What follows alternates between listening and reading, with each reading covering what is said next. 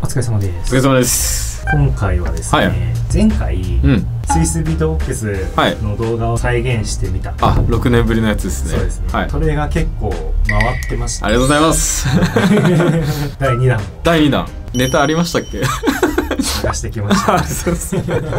ということで、はい。こちらですね。早速拝見させていただきます。うわ何やったっけな。じゃあ行きます、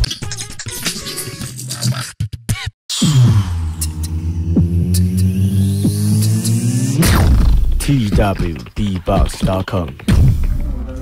Uh, my name is Tati from Japan. Waka. uh, big big shout to sisbbox.com and uh, my friend Peponi and uh, all Asian beatbox community.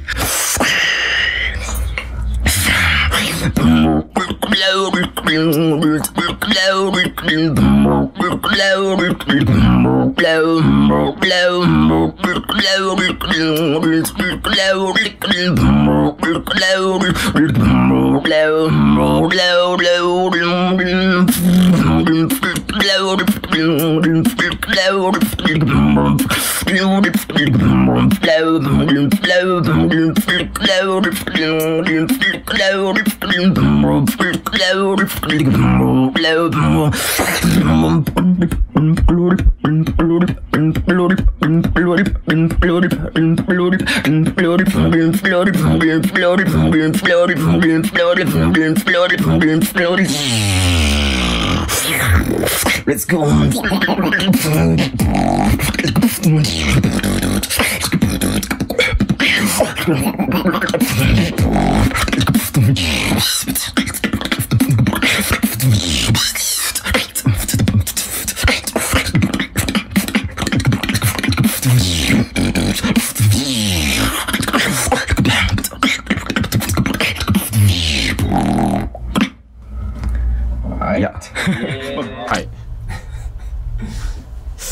むずいっすね。いやまあ理由はいくつかあるんですけど一つは最初の「ラオ」みたいなやつ。これを何かで使いたくてこれを使ったビートをやろうとは決めてたんですけどまあ中盤から後半にかけてもうフリースタイルでやってるんで。そうなんですよそうなんです。だからもうもう一回やれって言われてもなかなか 難しいですね。まあでも再現って言ってもあれなんですけど全く同じは分かんないんですがい。難しい感じでやれるかなとは。若いとりあえず2016年。6年。いやー6年の月日は 結構感じますねこれで見ると。なんか僕最初それはい。見た時、うん。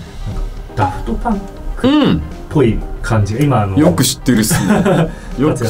その今ここでやってもらはいはいはいはいったはい。ところのダフトパンクっぽい音うんだなっていうふうに、そうなんですよ。これ自分のオリジナルサウンドではあるんですけど、トークボックスっていう楽器があるんですよ。トークボックスでぜひ検索してほしいんですけど、キーボードから出力でチューブにこうキーボードから出す音がチューブに音が流れてそれを口で咥えて口パクで動かすと声帯の代わりにキーボードの音が流れてなんかワンワンワンワンみたいな。それを意識して作ったのがこの技なんですけど実際はこのビートボックスで作った「ラオー」ってやつも喉めちゃくちゃ締めてトークボックスっぽい電子音をずっと出しつつ口の動きで揺らしたりとか音程を変化させたりとかするっていうテクニックなんですけどめちゃくちゃマニアックなやつです。OK です。練習そうですね。ちょっと練習しましょう。これはむずい。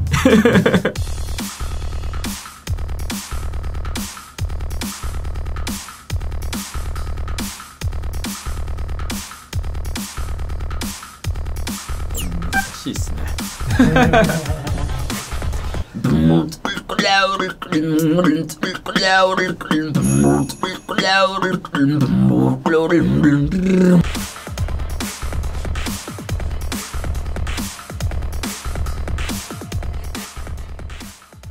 よし。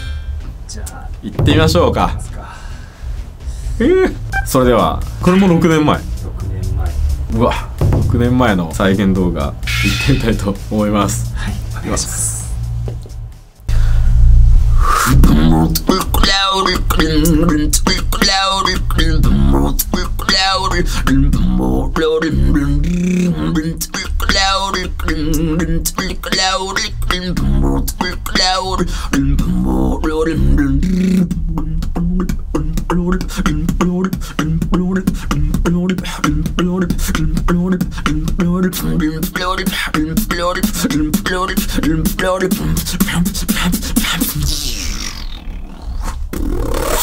レッ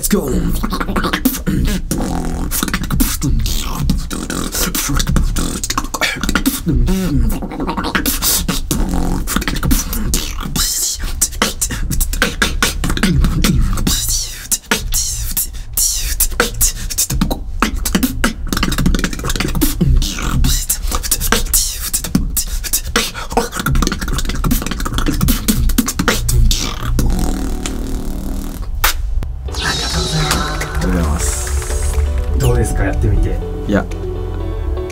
難しい。いややっぱ後半ほんとフリースタイルだったんではいはいはい全然ちょっとわけ分かってないんですけど当時この撮ってる時の心境今やりながら思い出したんですけど 何かやんなきゃみたいな。何か残さなきゃみたいな心境で撮ってたイメージがああるんでーそうなんですよ。なんか前回の再現した時のやつ非常階段ではいはいはい。急に切ったうんみたいなはいはい感じでしたけどこれに関してはどんな感じだったんですかアジア大会が行われた時に世界各国からいろんなプレイヤーが集まってきててでそれぞれ動画を撮るっていうので一人ずつ撮ってったんですよ。うん。いろいろ。で僕がちょっとあまりにもやりたくなさすぎて 逃げ続けてたんですけど、まあ、結局あのこの Swissbeatbox の Pepou に捕まってはい。ちょっとやろうってなってやったんですけどまあまああのーそんな思い出が ありますね。ちょっといやいやじゃないけど。まあもちろんあこう取り上げてもらえるのはすごい嬉しいんですけど、はい。なんかこういや俺ので大丈夫かなみたいな。